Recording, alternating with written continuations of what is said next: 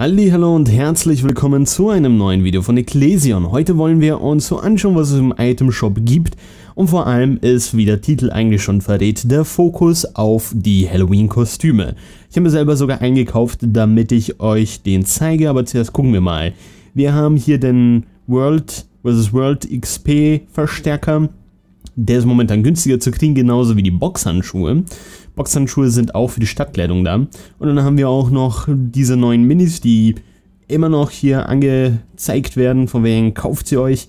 Sie werden wahrscheinlich halt nur so lange da sein, solange es das Halloween-Event gibt. Also falls ihr wirklich mehr Minis haben wollt, dann kauft die. Gucken wir uns aber die neuen Kostüme an, denn die Handschuhe habt ihr gesehen. Das ist die Henker-Kleidung. Mit ihr kriegt ihr auch spezielle Fähigkeiten durch die Axt, die ihr da auf dem Rücken habt, und zwar für die Kostümerauferei. Das gleiche gilt auch für alle anderen drei Kostüme, die es hier noch gibt. Wir haben den blutigen Prinzen als Kostüm. Bei meinem Char sieht man die Maske irgendwie nicht, weswegen auch immer, aber bei Menschen sollte man auch die Maske vom blutigen Prinz eigentlich haben oder sie besser sehen. Und dann schauen wir weiter. Wir haben noch zwei weitere, und zwar die Bekleidung des verrückten Königs, die ich mir geholt habe, weil ich finde die irgendwie am coolsten. Sie passt auch am besten zu meinem Schaf, finde ich. Und er ist auch ein bisschen schlanker dadurch. Und dann sollten wir noch die Hexenkleidung haben. Wie gesagt, alle von diesen vier Komplettsets sind Stadtkleidungen. Das ist die Hexenkleidung.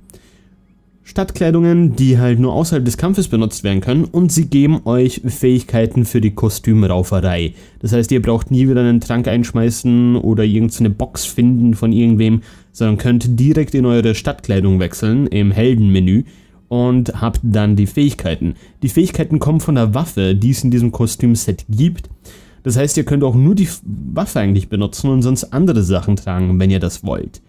Das bleibt ganz euch überlassen. Alle Teile sind auch accountgebunden und nicht zählengebunden, was auch irrsinnig gut ist.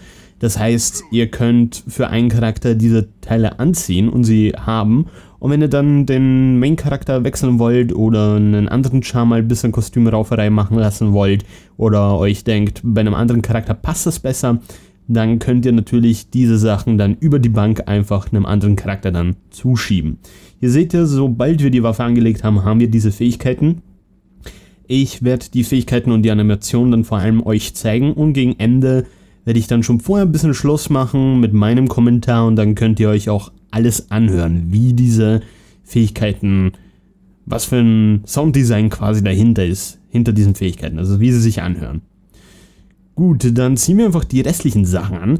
Beim Set vom verrückten König gibt es keine Hosen dabei, wobei die Hosen, die man selber anhat, die werden überschrieben von dem Brustteil. Es gibt Handschuhe, es gibt Schuhe und dann natürlich den typischen Helm von verrückten König. Sieht nice aus. So ein richtig fetter Kopf. Und ich würde an dieser Stelle frage schon mal, was haltet ihr von den Kostümen? Welches Kostüm gefällt euch am meisten? Ich finde einfach, der verrückte König passt am besten zu meinem Charakter. Ihr konntet im Dunkeln sehen, wie es aussieht, hier ein bisschen im Hellen. Die Partikeleffekte sind auch sehr genial.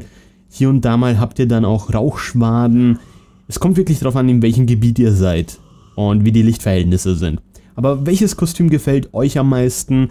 Ich fand eigentlich die Henkerbekleidung auch nicht so schlecht. Ist auch sehr nice eigentlich. Und jedes Kostüm hat auch andere Fähigkeiten. Nur ich kann euch jetzt nicht direkt sagen, was für Fähigkeiten die anderen Kostüme haben. Im Endeffekt sollte da jetzt nicht so viel ja, Unterschied da sein oder ein Kostüm viel, viel besser sein als das andere. Hoffe ich zumindest. Aber hier habt ihr auch Witze, die erzählt werden mit der Dreierfähigkeit, glaube ich, war das. Aber wie gesagt, wir werden uns das dann gleich anschauen. Also, nochmals.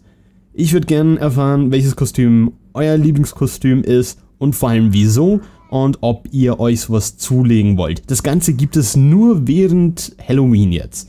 Das heißt, in einigen Wochen maximal werdet ihr das nicht mehr kaufen können. Das Ganze kostet entweder ein bisschen weniger als 9 Euro, also 700 Edelsteine halt, oder 42 Gold ungefähr mit den momentanen Preisen. Also vielen Dank fürs Zusehen und bis dann.